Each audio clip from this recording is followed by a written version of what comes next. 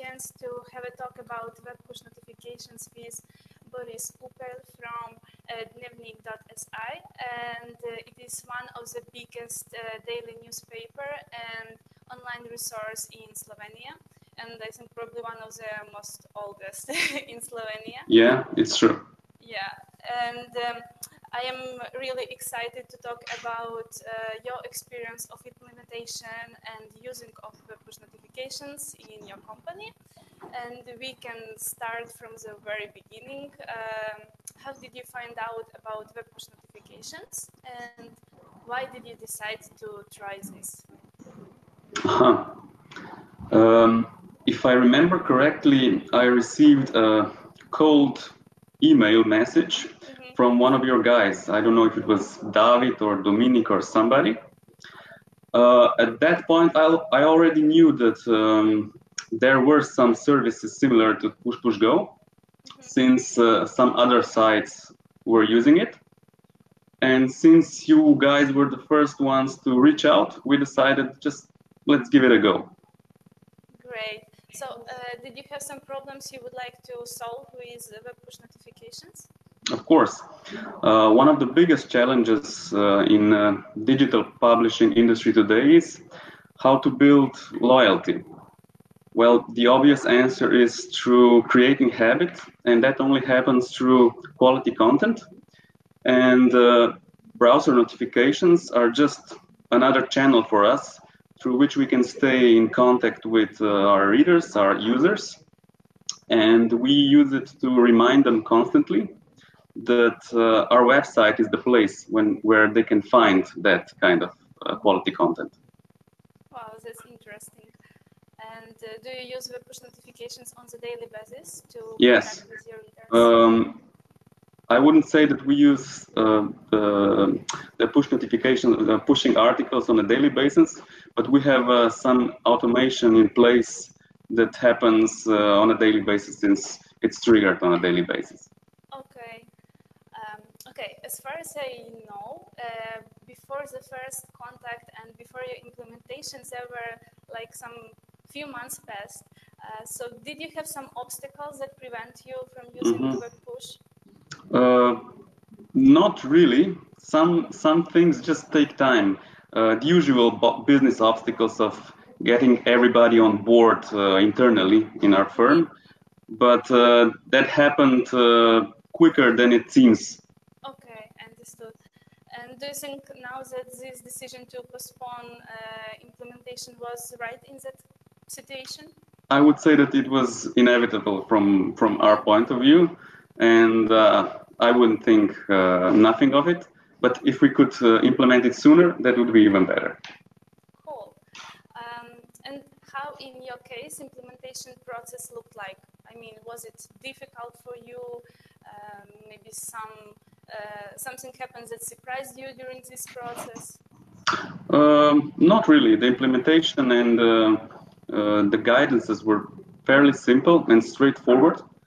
There were again some some delays, but they were on our side again, so um, nothing uh, wrong from your point of view.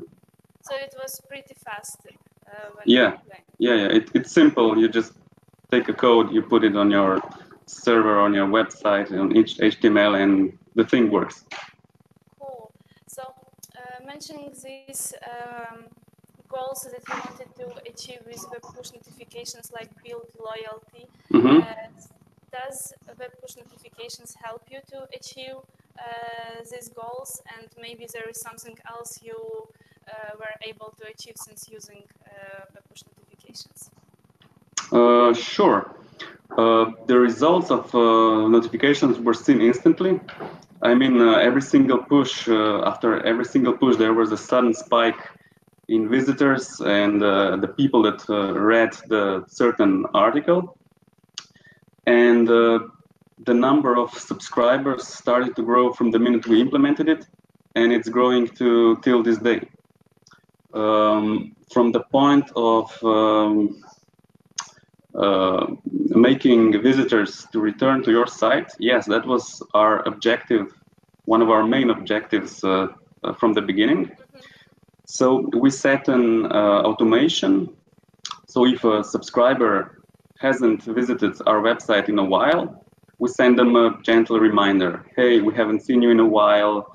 Here's the content that we think you would like to, to read.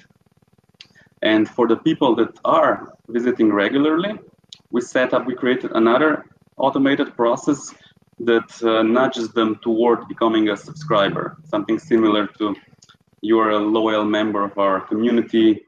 Here are some options for you to become a, a paying member if you want to read more articles that are behind uh, our paywall. Wow, that's cool. So, as I understood, web push notifications doesn't require a lot of time to um, to dedicate for it, like. No, no, no. It's uh, the, the the whole process is, as I said before, it's it's pretty straightforward and uh, easy to to learn and easy to use. So yeah, we're very satisfied with it. Cool. And um, what are the benefits for your business of using push notifications? Uh, and do you think there are some um, ideas that you would like to test in the future regarding? Mm-hmm. most simply put, uh, the, the biggest benefit is uh, reaching our users that would have not necessarily visited our website that day or read that specific article that we, we push to them. Um, if you can if you can convince your users that they return more frequently to your site, and uh, so they so that they uh, that you our website you become part of their daily routine, there's a bigger chance that they will convert into paid subscribers. And that's basically the holy grail of today's digital publishing. And Push Push Go is a great way that helps us achieve that. Okay. And what do you think? Because sometimes you can uh, face in the internet with such expressions that web push notification uh, is very annoying and it is the same as spam. And some companies they just don't want to use it because they don't want to become this another spammer for their users. Mm-hmm. Mm-hmm. this expression? Um, I don't really see it that way. Uh, it is true that the browsing time is becoming cluttered. As more and more websites are implementing these notifications, but only if you are subscribing indiscriminately to all of them.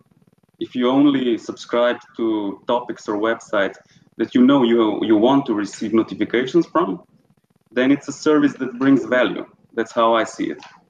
Uh, and it all comes down to user aware- awareness or net savviness, basically. Uh, just as with any other channel, be it social, newsletter, or app push notifications. Mm-hmm. Yes, I also agree with you. It also depends uh, what information you are sending for your. Uh, of course, you have to be you have to be careful uh, that you are sending uh, information that is useful to your subscribers. Yes, that's yes. it in this case, we also have this tagging that helps to monitor mm-hmm. which pages a user was visiting, and you can. Yeah, yeah, I'm, I, I'm, I'm really surprised that the um, by the amount of data and targeting options and preferences of our users uh, that you offer, mm-hmm. without being invasive uh, uh, in regards to their privacy. So that's one of the upsides of Push Push Go. Um, I was also surprised by the limitless options of uh, automations. You can basically make any action or event you can think of and serve appropriate message based on the action or, or that data. So yeah, that, that, that surprised me and I'm really satisfied. We are basically really satisfied with it thank you so much for this insightful conversation. Mm-hmm. Uh, and I wish you a lot of successful campaigns with your thank you. notifications. Thank you. I can only recommend Push Push Go to other people because it's a great product, great service, and uh, great people, responsive people. That's it.